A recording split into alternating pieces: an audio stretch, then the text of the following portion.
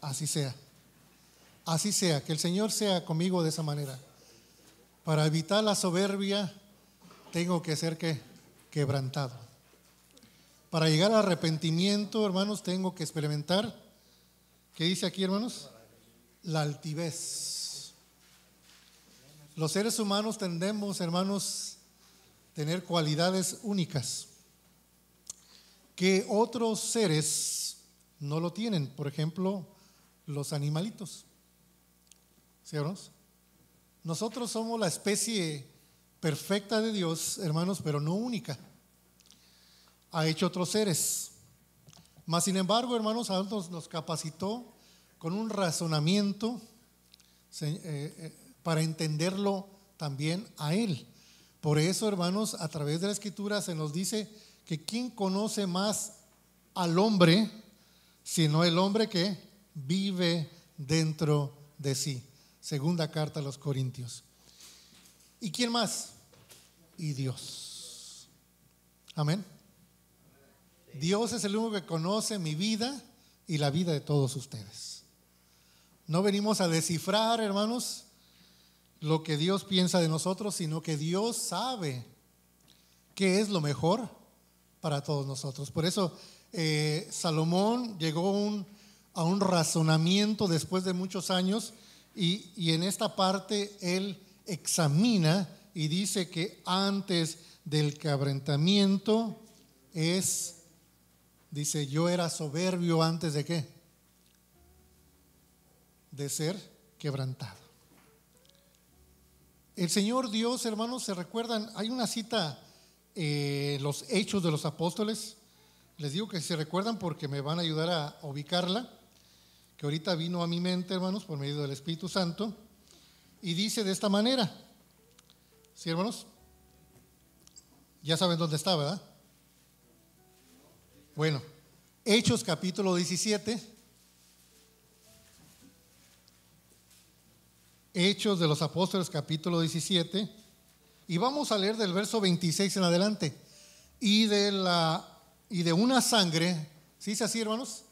A ver si me lo pones allá. Ah, thank you. Leo mejor de larga vista que de corta. No sé por qué, hermanos. Y de una sangre ha hecho todo el linaje de los hombres para que habitasen sobre toda la faz de la tierra. Y les saque, hermanos, prefijado el orden de qué? De los tiempos. Y los términos de los, dice, términos de los, de la habitación de ellos. Gracias, hermano Pedro. Tiene mejor vista corta, ¿verdad? Que él está viviendo más, yo estoy viendo más lejos. Y vemos, hermanos, que si Dios, creemos en un Dios que todo lo sabe, ¿no es así, hermanos? Pero hay veces que nosotros queremos saber o, o interpretar mejor que Él y decir, este no es el tiempo. Hoy ha llegado un tiempo para una persona. ¿Sí, No para nosotros, para una persona. ¿Sí? Sigue diciendo, hermanos. El verso que, eh, que sigue, que es el 28 o 27, gracias, hermanos. Para que busquen, ¿qué? Para que buscase a Dios sin alguna manera que palpando le hallan, aunque cierto no está qué de cada uno de nosotros. ¿Quién más ha sentido ese deseo de buscar a Dios? ¿Nadie? Eh, estamos aquí, estamos aquí porque queremos oír de Dios, pero muchos no queremos que andar con Dios, caminar con Dios. Y para poder hacer eso, hermanos, tenemos que ¿qué? retractarnos eso es lo que se llama la conversión. Convertirte, retornarte, volverte. ¿Sí? Y para eso tiene que experimentar el quebrantamiento. Dejar la soberbia. ¿Sí? Para que Dios maneje tu vida ahora. ¿Sí? Si estamos dispuestos a esto, entonces venimos en la condición que ha venido el día de hoy el hermano Ricardo. De otra manera, va a decir, bueno, pues yo vengo a bautizar, pero de aquí yo que sigo igual. Sigo actuando igual, sigo caminando igual, vengo cuando quiera o cuando pueda. No es así, hermanos. La decisión de hoy es porque he entendido que lo que yo he estado haciendo ha sido que en contra o caminando mi propio sendero. Cristo bien lo dijo, yo soy el camino, la verdad y la vida. Nadie viene o procede a Dios si no es por medio de Él. Tenemos que seguir las pisadas de Cristo y por eso Cristo dejó un ejemplo del bautismo no porque tenía pecado, sino porque se cumpliera toda justicia. Le dijo a Juan, Juan dice, es menester que tú me bautices a mí. Dice, no, Juan, deja que se cumpla esto para que sea que justificado el Hijo de Dios. Porque Juan, recuerden que venía bautizando solamente que en agua, hermanos, arrepentimiento, pero no para perdón de los pecados. ¿Sí, hermanos? Y muchos se llegaban a Juan en el Jordán y ¿qué decían? Bautízame. Y Juan que decía, sí, como no, vengan. ¿Qué les decía Juan, hermanos? Dice, ¿quién osa qué? ¿Qué os ha enseñado? Dice, huir de la ira que vendrá. Dice, hacer, dice, regresen y hagan que obras dignas de arrepentimiento después que regresen. No vienen en condición todavía. Juan detectó que solamente querían huir de qué? De la tragedia que venía, que había profetizado que iba a venir una destrucción sobre Jerusalén. Ellos querían evadir la tragedia física. ¿Sí, pero a través de la Biblia, hermanos, nos dice que lo primero que se debe ser quebrantado, que es, tiene que ser derrumbado mi yo, mi ego. Ese es el primer destrucción que debe haber interna mía. Y si no estoy dispuesto a ello, entonces no voy a poder edificar o que Dios me ayude a edificar que un nuevo hombre en este templo. Si no está dispuesto a eso, hermano Ricardo, I'm sorry, pero lo va a hacer de una manera incorrecta. Esto lo digo, hermanos, porque a todos se nos ha dicho esto. No hemos evadido, hermanos, la responsabilidad de actuar, hermanos, conforme a la voluntad de Dios. Dios sí quiere, lo vimos eh, en el estudio bíblico, algo que sí desea y quiere Dios es que el arrepentimiento, lo dice ahí segunda de Pedro capítulo 3. ¿Sí se recuerdan que leyó mi hermano? ¿Sí recuerdan? Dice Pedro, Dios quiere. Dice, no tarda su promesa como algunos que la tienen por tardanza, sino que es paciente para con nosotros, no queriendo que ninguno, ninguno perezca, sino que todos procedan al arrepentimiento. Ese es el deseo de Dios. Porque recuerden que lo que Dios hizo al principio era perfecto, mas se descompuso, hermanos, todo mal, cuando comienza a alterarse, tende a qué? A descomponerse y a echarse a empeorar o a, como se dice, hermanos, a deproficar, echarse a perder. Dios quiere rescatar esa parte, pero dice, no puedes solo. Necesitas mi ayuda, necesitas primeramente dejar que te ayude. ¿Qué, pasó con Saulo de Tarso, hermanos? ¿Qué tuvo que experimentar el primero? Primeramente dice, fue quebrantado. Dice que vio una luz cuando él iba camino a Damasco. Vio una luz, dice Hechos capítulo 9. Y esa luz, ¿qué hizo con él, hermanos? Dice que lo tiró al suelo y lo dejó qué? Incapacitado. ¿Qué hizo Dios en ese momento físicamente con él? Lo quebrantó, lo tumbó al suelo, le, dijo eh, eh, simbólicamente, repetitivamente, dice, le, dice Dios a él por medio de Jesucristo, Saulo, estás luchando una, una lucha que no vas a poder ganar solo. Dice, ¿por qué me persigues? Y Pablo, que, Saulo, ¿qué decía? ¿Quién eres, Señor? ¿Quién eres? Pues yo soy el que tú persigues. Amén. Dura cosa es dar que cosas contra el hijo. No vas a poder conmigo. Y entre más tratas de evadirme, más te voy a quebrantar. Dice que tuvo que hombres agarrarlo de las manos y guiarlo ¿dónde, hermanos? Al pueblo. y dice, y aquí quédate. Y alguien te va a decir que, qué te conviene hacer. Déjate guiar, déjate instruir. Porque es lo que tenemos nosotros los seres humanos, pensamos que lo sabemos todo. Y nuestro ego no nos deja aceptar la voluntad de Dios, porque hermanos, el creer implica esto. Hechos de los Apóstoles, capítulo 2. Y esto parece que hablamos la semana pasada, el recibimiento del sábado, hermanos. Hechos capítulo 2 de los Apóstoles, verso 39. Porque para vosotros es la promesa y para vuestros hijos y para todos los que están lejos, para cuando el Señor nuestro Dios que llamare. llamare. Hermanos, yo no vine voluntariamente a esta, a, esta doctrina, porque no voy a decir congregación, porque hay muchas congregaciones, hay muchos templos, hay muchas casas de oraciones. Yo no vine voluntariamente a este conocimiento. Dios me trajo por medio de quién? De alguien. Alguien me guió. ¿Sí? Y ese alguien fue guiado por quién? Por otro. Y ese otro fue guiado por qué? Por el Espíritu de Dios. Para traernos aquí. Porque todos en una manera estamos buscando qué? Nuestra salvación. ¿Sí o no, Porque creemos en la vida eterna.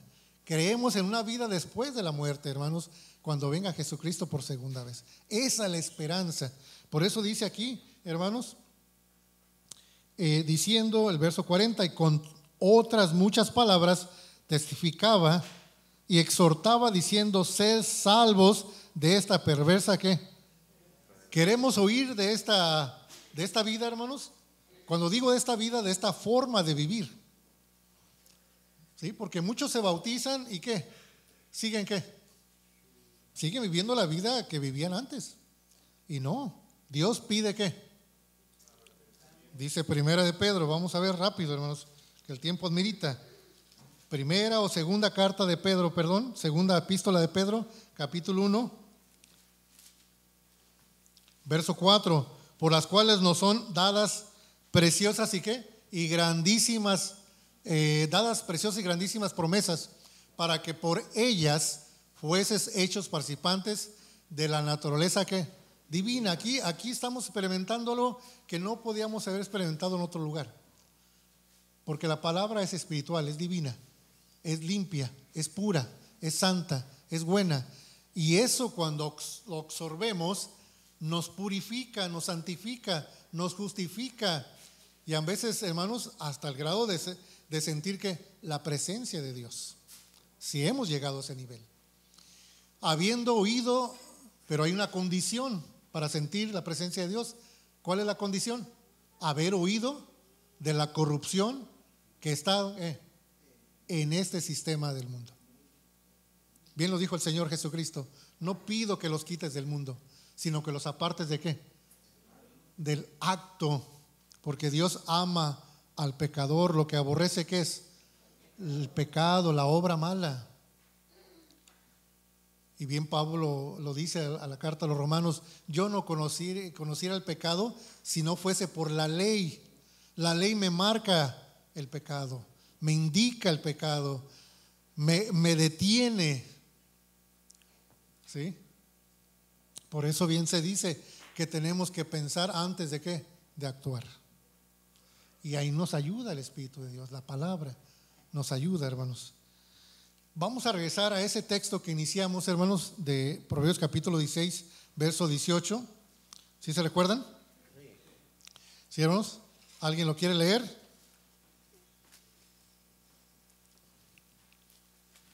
hermano Daniel Solares, le va a tocar ahora leer Proverbios 16, 18. ¿Sí era, verdad? Sí, ah, hermano, gracias.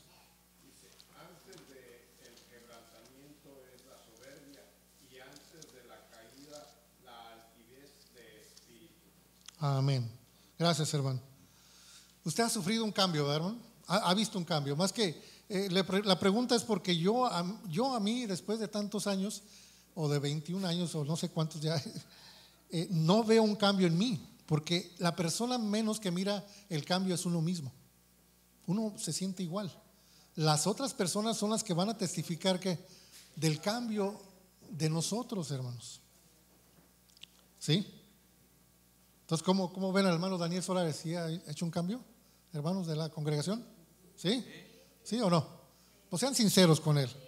Sean sinceros, ¿verdad? Porque es, es lo bonito ser sincero. Hermano Daniel, pues sí, pero mira, te falta todavía aquí. Oh, gracias, manito. Voy a trabajar. Ora por mí, yo oro también a Dios porque me dé esa, fuerza para poder mejorar. ¿Sí o no? Eso es ser sincero uno con otro. Pero si voy por atrás, no, el hermano ya lo vi que hasta se echa una así, pues, habla con él, dile. Y si no te quiere invitar, digo, si no te quiere eh, oír, eh, ¿verdad? Si no te quiere oír, pues este, entonces vamos con otro. Y ese es un proceso bíblico, ¿sí? Porque lo amamos y queremos que él que mejore y deje su vida pasada. Y si podemos aportar poquito, ¿por qué no? Pero también si se deja. ¿Qué se dice, hermano? No me juzgues. Es más, tú haces cosas peores. Es más, ni, es más, ni debes estar hablándome. Ve, tú compone tu vida y después vienes a hablarme a mí. Esa es la soberbia. ¿Ciertos? Y a veces eso es lo que impide muchas veces mi mejoría y la mejoría de todos nosotros, hermanos. El prejuicio que hacemos, hermanos, no nos beneficia ni a mí ni a la otra persona. Pero el orar sí. El orar sí. Voy a orar por ti, hermano, para que Dios te fortalezca. Dice Jeremías. Vamos a ver otro profeta. Jeremías capítulo 8. Capítulo 3. Y escogeráse la muerte antes que la vida, por todo el resto que quedare de esta mala generación. En todos los lugares a donde los arrojaré, yo a los que, a los que, ¿qué hermanos? Quedaren, o quedaren, dice Jehová de los ejércitos. Verso 4, y les darás a sí mismo, y les dirás a sí mismo, así ha dicho Jehová, el que cae no se levanta, el que se desvía no torna a camino. Porque es que este pueblo de Jerusalén, rebelde, con rebeldía perpetua, abrazaron el engaño, no han querido, dice, volverse. Escucha y oíd, no hablen derecho. No hay hombre que se arrepienta de su mal, diciendo, ¿qué he hecho? Cada cual se volvió a su carrera, como caballo que arremete con ímpetu a la batalla. ¿Cierros? A veces, hermanos, estamos tan apresurados de llegar primero que nos olvidamos de nuestro hermano que está atrás. Y dice que Pablo lo ilustra, hermanos, el camino a la salvación como si fuera una carrera de un atleta cristiano. Y dice, algunos se acondicionan, se abstienen para, para participar en esta carrera, pero todos con el deseo de qué? De obtener el premio. ¿Cierros? Y todos estamos ahí, hermanos. Todos estamos ahí. Todos estamos ahí. Y en esto, hermanos, pues nos lleva a entender que eh, sí es necesario que procedamos al arrepentimiento. Recuerden, sin arrepentimiento no hay que, no hay remisión de pecados. Es una condición, hermanos, en la cual, hermanos, Dios nos dice para que podamos lograr el objetivo. Vamos a ver eh, la carta de Pablo a los Romanos capítulo 5, hermanos, y vamos a ir ya viendo poco a poco eh, ya el tema. Capítulo 5 de Romanos. Dice verso 7, ciertamente apenas muere uno por un justo, con todo podrá ser que alguno osara morir por el bueno. Mas Dios, ¿qué hace, hermanos? Dios encarece su caridad para quienes. Porque siendo aún pecadores, Cristo murió por nosotros. Luego muchos más, luego mucho más ahora, justificados en su sangre, por él seremos salvos de qué? Porque siendo enemigos, fuimos reconciliados con Dios por la muerte de su Hijo mucho, eh, mucho más, estando reconciliados, seremos salvos por su muerte. Y no solo por esto, más aún nos gloriamos en Dios por el Señor Jesucristo, por el cual hemos recibido ahora la reconciliación. Sí, cuando llega una etapa, hermanos, donde dice, pues ya, ya me la pasé peleando, ¿verdad? Con mi hermano, con mi hermana, con mi vecino, y pues no, no es vida. Ah, quiero hacer las paces. ¿Sí, hermanos? Dios, hermanos, es el arquitecto de todas las cosas. Y Él hace las cosas como, hermanos, perfecta. Él dice, ya no más que me voy a qué? A destruir esta humanidad por agua. Pero les voy a dar otra oportunidad. Si se quieren reconciliar conmigo, les voy a mandar a mi hijo. Mi hijo va a morir y se aceptan las condiciones de mi hijo, entonces estamos qué? Reconciliados. ¿Sí, hermanos? Eso lo efectúa Dios, no nosotros, hermanos. No nosotros. Esto le pertenece a Dios. Esta es su forma de él de aceptar nuestro reconocimiento que estamos mal, que somos pecadores, que merecíamos la muerte, no su hijo, sino que nosotros merecíamos la muerte, pero él fue el que, hermanos, siendo inocente, murió por quién? Por nosotros. Él, ¿cómo se llama? ¿Qué hizo Jesucristo? El sacrificio, hermanos, perfecto, ¿sí, hermanos? Él fue, hermanos, la expiación. Él fue el que pagó qué? La deuda. ¿Sí o no? Hermanos? Somos deudores, hermanos. Realmente le debemos todo a Dios por medio de su Hijo. Y a veces nosotros ponemos condiciones a nosotros mismos. No, hermano, no, te perdono. No te perdono. Recuerden que el que no perdona, dice Jesucristo, tampoco nuestro Padre que nos va a perdonar a nosotros, hermanos. Entonces estamos no obligados, porque Dios no quiere nada que a la fuerza, voluntariamente. ¿Estás preparado? Dice, sí, estoy preparado para reconciliarme con Dios. ¿Cómo lo puedo hacer? Arrepiéntete. Reconoce tu vida antigua, porque dice que Dios, ¿qué hace? No leímos la parte que quería este, mostrarles en Hechos capítulo 7. Dice que pasa Dios, disimula los tiempos de qué? De la ignorancia. Dice, y dice como que nada pasó. Ok, vienes hoy, te arrepientes y hoy de aquí adelante qué? Es una novedad de vida, hermano Ricardo. Es maravilloso, ¿verdad? Pero eso es de parte de Dios. No, no me crea a mí, no le crea a nadie de aquí, créale a Dios. Que esa, e, e, e, ese acto se va a efectuar si usted cree y si usted ha venido en condición de aceptar a Jesucristo bajo las condiciones del Evangelio. Y esto implica, hermanos, guardar sus mandamientos y amarnos unos a otros. ¿Ciertos? ¿Está dispuesto? Amén, hermano. Qué bueno. Qué bueno porque dice aquí en Romanos capítulo 6, hermanos, dice el verso 1, ¿qué pues diremos? ¿Perseveremos en pecado para que la gracia crezca? En ninguna manera, porque los que somos muertos al pecado, ¿cómo viviremos aún en él? ¿O no sabéis que todos los que somos bautizados en Cristo Jesús, somos bautizados en qué, hermanos? En su muerte. Hermanos, cuando mi hermano baja a las aguas, eso representa y simboliza qué? Su muerte, pero no física, sino su muerte qué? De su pasada manera de vivir, de lo que él a él le gustaba, de lo que él vivía, de lo que él practicaba, que era incorrecto delante de Dios. ¿Sí? Y eh, para eso mismo es que se estudia los 39 puntos de fe. Porque ahí no es toda la doctrina, simplemente que son los puntos fundamentales de nuestro credo. Por eso cada punto de fe comienza, creemos que. Creemos que. Y el creer implica aceptamos esa condición, aceptamos esa forma de, de enseñanza o de doctrina. ¿Ciertos? Y tenemos que estar fundados ahí, porque ahí implica mucho, hermanos. Y a veces 39 puntos, decimos, no, pues un poco, no. A veces de los 39 quizá a lo mejor todavía estamos trabajando en qué? En la mitad de ellos.